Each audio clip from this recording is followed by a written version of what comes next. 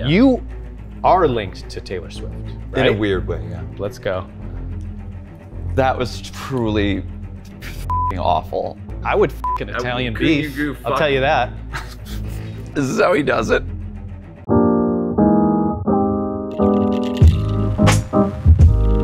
Ladies and gentlemen, I am pleased to welcome the guy who founded the Chive a mere 15 years ago.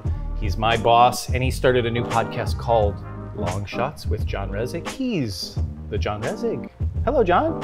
Hi, Joe. How are you? How are you doing? Uh, I'm good. I'm scared. I, you shouldn't be scared. Well, you're the man with the power. And you're a man drinking beer out of a coffee cup. Well, we're trying to sell merch. Chivery.com. Because I'm afraid, I've had my legal team come up with this agreement. It is legally binding, Yeah. and uh, I'd love for you to read it, sign it, and then I think we're going to have a great interview. Being of sound mind and body, do you hereby agree that anything uttered in the course of my interview with the underrated and comedically gifted Joe Barlow and sex symbol may not be used for Joe's termination, even if Joe says some weird, bad stuff? I feel like all of your past dates. Yeah, with the NDAs. I agree you. to that. Yeah. And you've signed that. yeah. So we'll we'll pull this out to the HR hearing later today. John, let's get loose, brother, huh? This is Malort. People like when you drink Malort. But I don't like when I drink Malort. I probably haven't had a shot of Malort in two years. That's good. You're not I have a to. violent reaction to drinking. That's why people like me drinking it. Well, we have a close up. Let's go.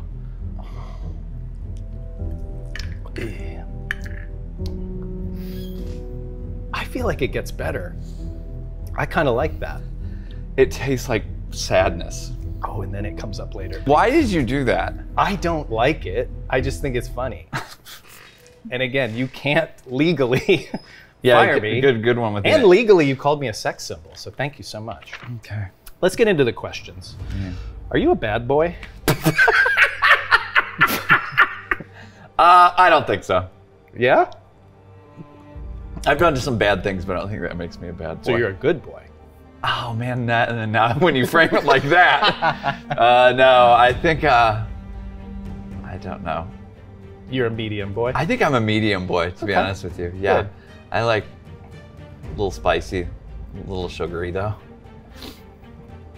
I'm sorry. I feel like I'm on that Hot Wings episode oh, we could have escalated this. because that was truly fucking awful. I hate it so much. if it's loosening you up, then my question next is uh, what's your net worth?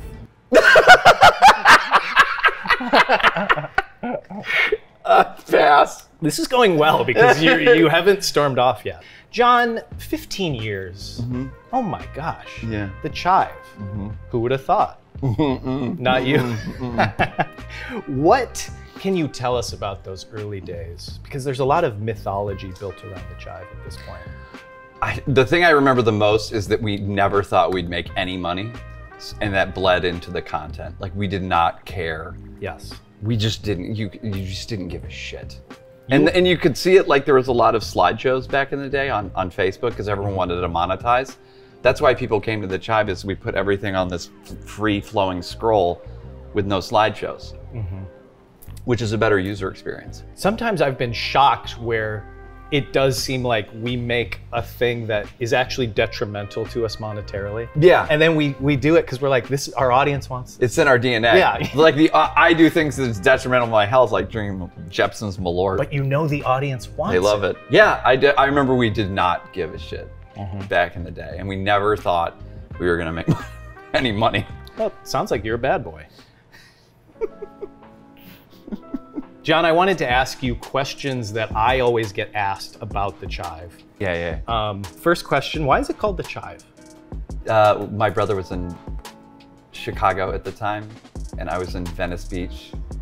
CHI from Chicago, VE from Venice Beach. But the interesting part about that is we really wanted to call it Darby Gunpowder, um, which is at the time there was something popular where you took the street that you lived on and either your first pet's name. For your porn name? it was kind of a porn namey thing, except that that was the street name that Patrick, my buddy, lived on was Gunpowder Drive, and we thought that was cool. And his first name of his dog was Darby, so we had to call it Darby Gunpowder. So we ended up flipping a coin at an Irish pub called Emmit's in Chicago, and if it was heads, it was Dar- Darby Gunpowder, and tails, it would- was going to be the chive, and it was tails. I don't think Darby Gunpowder has the staying power. For a community, you, you what do you call them? Gunpowderers? Yeah, Darby's. Another question I always get asked Are there always half naked models around? Not always, but there are. That's what I say to be cool. Um, is that a real bar? You mean this? Mm-hmm.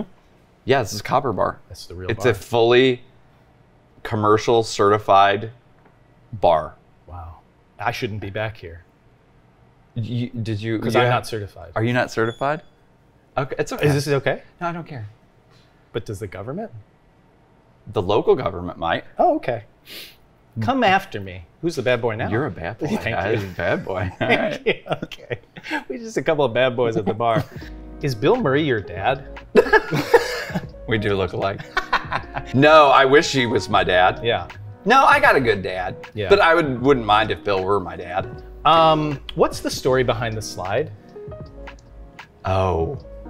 We wanted two signature pieces at the chive, and we didn't know what they were, but we we wanted to have a bar. And then I think, uh, honestly, one of the construction workers said I could put a slide here. What?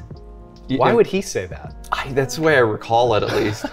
but what we did was we wanted, we were like, okay, we'll build a slide, but it has to be on the maximum legal grade, Yeah. which is, I think, 43.2 degrees. Yeah. Um, if I could go back in time, if I could get a time machine and do one thing, Uh huh.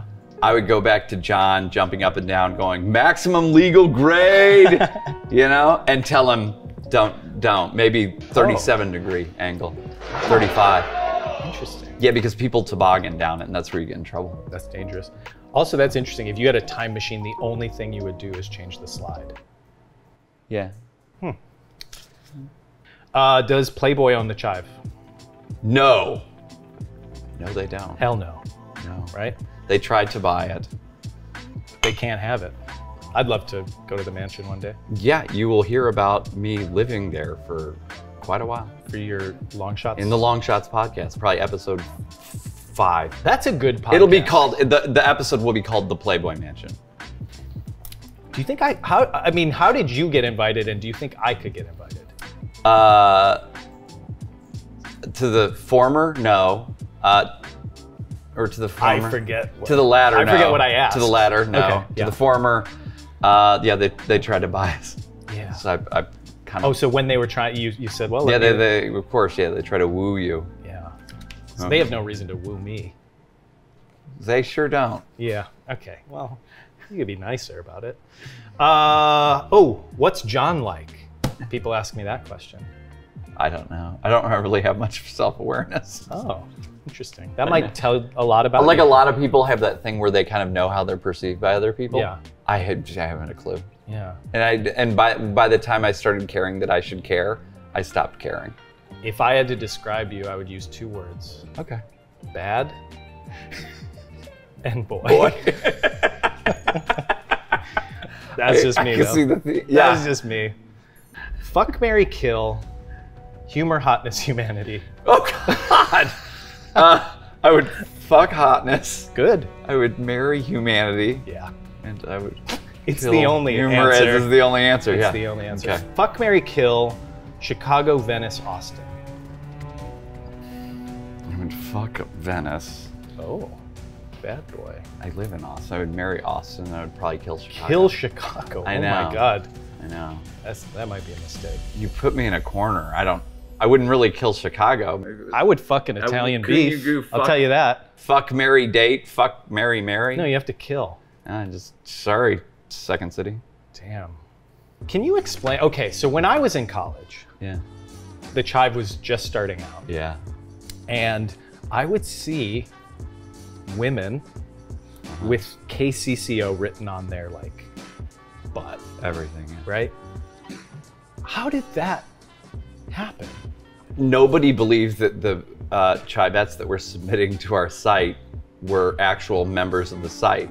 Oh. So we would have them, we'd be like, look, no one actually believes you're an active member of the Chive. Could you just write it on your hand to prove to us And that you're a real this. Chiver? So it started with the hand. We never mm-hmm. said, you know, we didn't have the hubris to be like, look, can you have find a friend to write it on the nape of your you know, Yeah. left butt cheek or right, something? because that's what I saw. That's how it all started. Was just like trying to prove to our audience, like, no, we have like 25% of our users are very attractive females, and they no one would have believed us if they don't. that never made sense to me. I was like, how did they do that? But I guess that's it. That's how we did it. it starts, Wow. That's how it started. Have you ever considered having some sort of Willy Wonka like giveaway where you give away all of this? Man, that's deep. Yeah, thank you. Uh, Because I could be the Charlie bucket. like a golden ticket thing. Yeah. I mean, you could enter the golden ticket. Oh, great. That's all I want. One in one in whatever. sure. chance. Then, then if it's you, I guess it is you. Okay. I wouldn't particularly want that for not only for myself, but For the community. for the community or, Or the business. Anything. yeah, it would be a mistake. Uh, yeah, I'd love to do a golden ticket campaign. Okay. Yeah. That would be cool. Cool. I can't interview you without mentioning True Blood.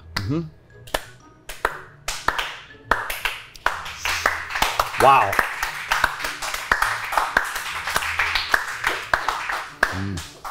That is the definition of a smattering of applause. That was fucking awful. Like I pay you people. Can you do that again, please? John, I I wouldn't be doing my job if I didn't bring up True Blood. Oh, A lot of fans. A lot of fans. That's That was wow. worth I it. didn't. I didn't expect so many people would have remembered that. But Could have expected it. that Um, is that's kind of amazing. It's flattering. That's yeah. cool. Eh, Yeah, after all this time. After it's still- time, yeah. Um, but I never watched the show, so I don't have any questions about that. um,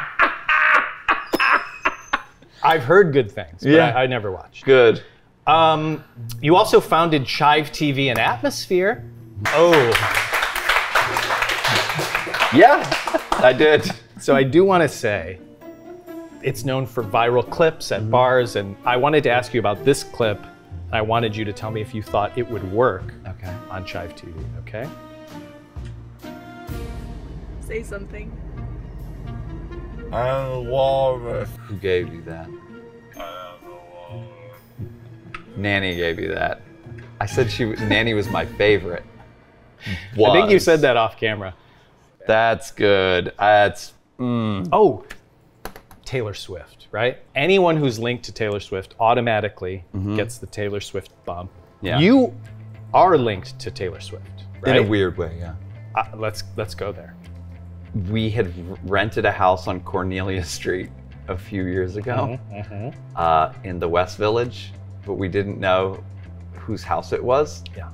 there were there were like hordes of teenagers outside our door all day. We went to this Italian restaurant across the street, and he kept saying, "You're at Taylor's house," and we're like, "We What? we could be sure."